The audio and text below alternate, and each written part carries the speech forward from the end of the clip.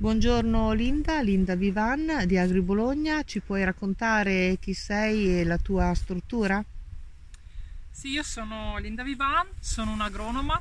e mi occupo di assistenza tecnica all'interno dell'organizzazione di produttori di Agri Bologna. E Agri Bologna è un'organizzazione di produttori che raccoglie circa un centinaio di aziende agricole localizzate prevalentemente nell'areale del, e nella regione dell'Emilia Romagna. Si occupano di produzione orticola da mercato fresco e anche frutticola. Per quanto riguarda i vostri soci orticoli, appunto, che si occupano di orticoltura, eh, le coltivazioni di cui parlavi da consumo fresco sono eh, sia in serra che in pieno campo o prevalentemente in una di queste? Allora, eh, diciamo che in prevalenza, più che altro per una questione di costi, la produzione avviene ancora prevalentemente in pieno campo, però la, la coltivazione in tunnel e in serra è mm, comunque molto importante, sta vedendo anche un incremento in questi anni in termini di investimenti sulle strutture che ci permettono di sottrarci sostanzialmente alla variabilità eh, del clima e del meteo che spesso e ormai con sempre più frequenza minaccia le coltivazioni in pieno campo. E, e da quanti anni avete iniziato a promuovere l'impiego dei sovesci nelle aziende dei vostri soci? Allora, come servizio tecnico sono circa 7-8 anni che eh, spingiamo, invitiamo i nostri soci ad utilizzare questo tipo di tecnica e devo dire che negli ultimi anni c'è stata una maggiore adesione e un consolidamento nell'introduzione di questa pratica all'interno eh, appunto delle, delle, pratiche aziendali, trovando comunque un buon riscontro, un, favore, un buon favore da parte degli agricoltori che ne stanno apprezzando i benefici.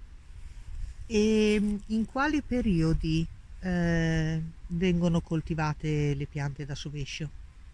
Allora, mh, mm,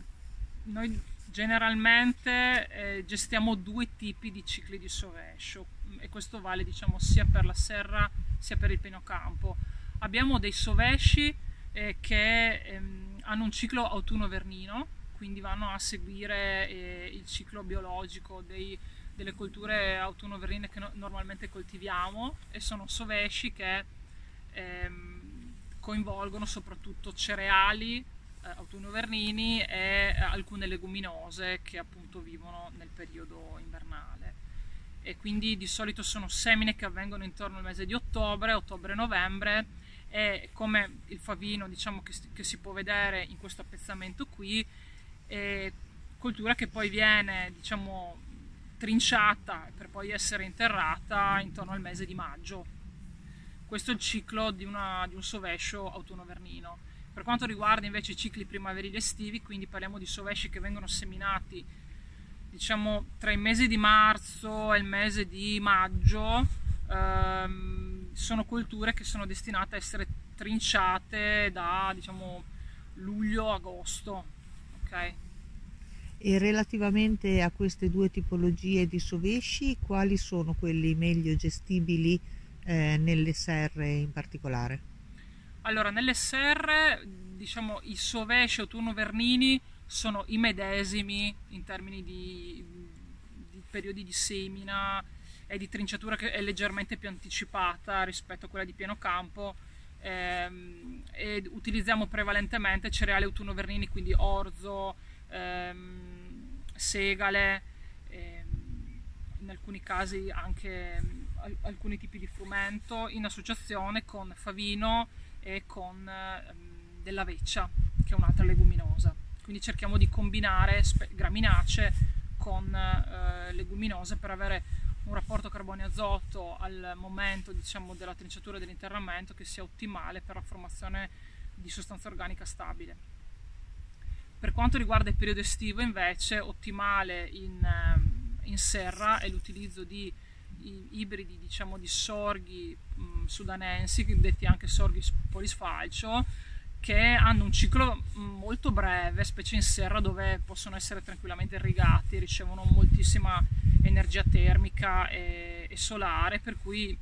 magari in 70 giorni si riesce ad avere una coltura pronta per essere trinciata e talvolta riusciamo a fare anche più sfalci qualora il produttore avesse la serra libera per un periodo lungo a sufficienza per permettere al sorgo di ricacciare. Quindi quella è sicuramente una, una cultura ottimale per ottenere un incremento della sostanza organica. Quindi eh, da quello che stai dicendo nelle serre viene preferito comunque il sovation nel periodo estivo. Sì, perché occupa il terreno per un periodo molto breve e, ed essendo appunto il sorgo una pianta C4, quindi che ha un rendimento altissimo, eh, si riesce ad avere in poco tempo moltissima biomassa che appunto poi si trasformerà in sostanza organica. Quindi eh, questo non porta via eh, in termini di criticità dell'applicazione del sovescio un periodo utile di coltivazione nel periodo estivo nelle serre? Allora può essere un problema per quegli agricoltori, per quelle aziende agricole che sono organizzate per avere tutte le serre impegnate durante l'estate, mentre invece non è un problema qualora ci sia almeno una porzione di, eh, di serre che non sono interessate da coltivazione oppure che sono impiegate per delle colture a ciclo breve che lasciano eh, rapidamente il terreno libero per eh, appunto poter intercalare una cultura da sovescio come questa che ha un ciclo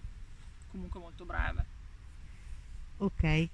quindi in questi termini può diventare per alcune delle coltivazioni di cui stavi parlando, come se non sbaglio la lattuga, un, un vantaggio il fatto di poter occupare eh, per un periodo così breve la serra con un sovescio se questa cultura in quel periodo per ragioni agronomiche non, non può essere comunque coltivata. Certo, andiamo ad occupare diciamo, il terreno in, nella serra in un periodo in cui la, la, la cultura, la lattuga comunque non, non, verrebbe coltivata. E in più riusciamo ad abbinare al sovescio anche la pratica della solarizzazione che serve appunto a, eh, ad abbassare l'inoculo di funghi patogeni nel terreno al, eh, ai benefici del sovescio che mi portano a sostanza organica ma anche aumentano l'effetto della solarizzazione perché c'è molta più sostanza organica fermentescibile nel terreno che aumenta quindi la temperatura del suolo nel momento in cui viene steso il film plastico. E quindi si applica la biosolarizzazione. Esatto, esatto. Gli agricoltori, i vostri soci, sono soddisfatti dei risultati ottenuti con l'applicazione dei sovesci? I benefici che eh, diciamo sono riscontrabili dai sovesci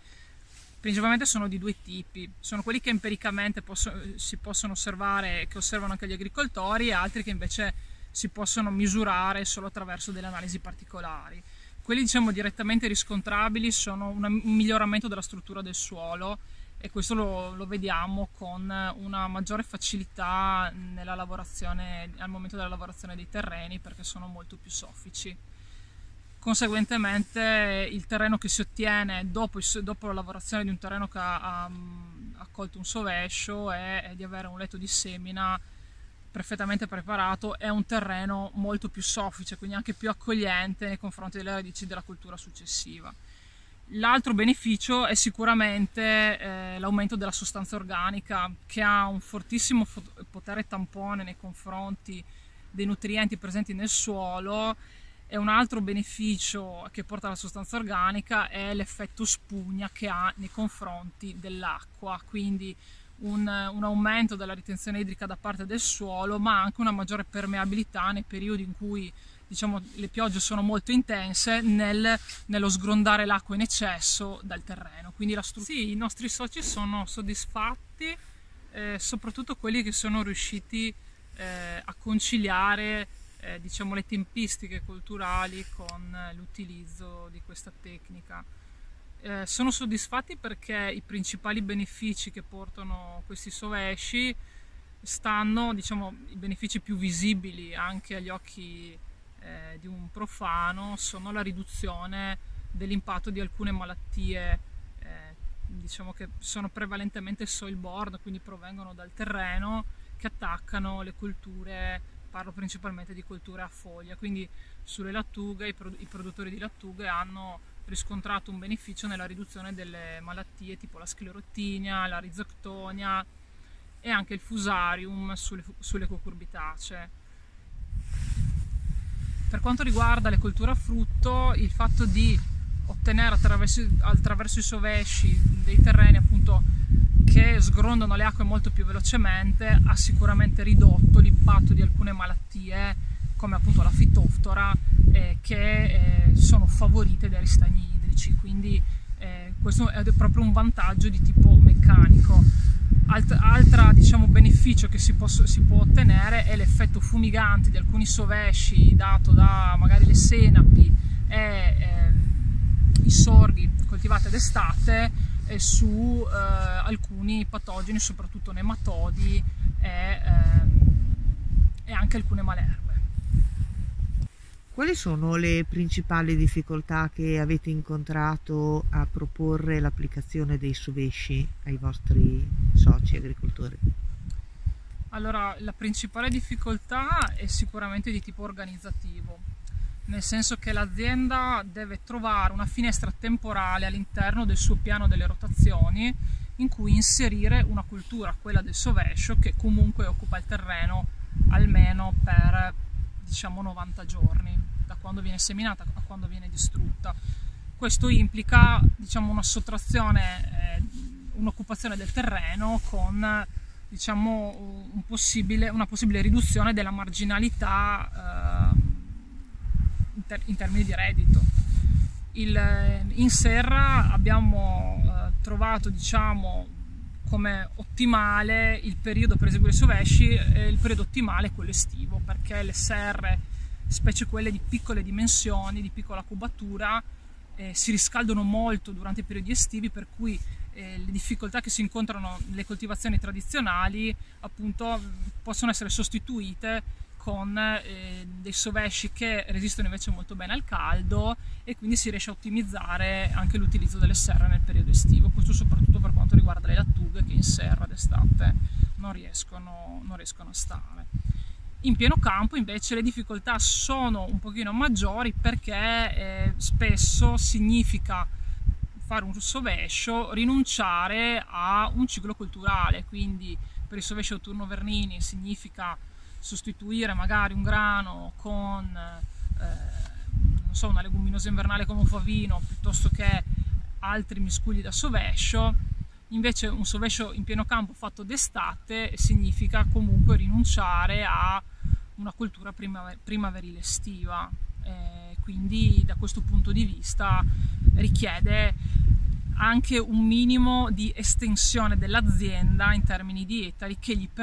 possibilità di mettere in piedi questo tipo di rotazione. Quindi un'azienda piccola eh, fa più fatica a inserire un'altra cultura come quella del sovescio in rotazione.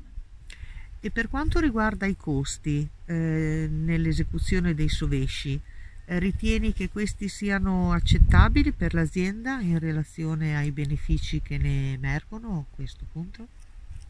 Allora, noi da eh, ricerche e sperimentazioni che abbiamo fatto in precedenza eh, rispetto a Best for Soil, eh, abbiamo proprio approfondito questa tematica per capire quanto costassero i sovesci ai nostri produttori ed è emerso che fare un sovescio costa all'incirca fra l'acquisto della materia prima seme e le lavorazioni e le ore di lavorazione sui intorno ai 300 euro ad ettaro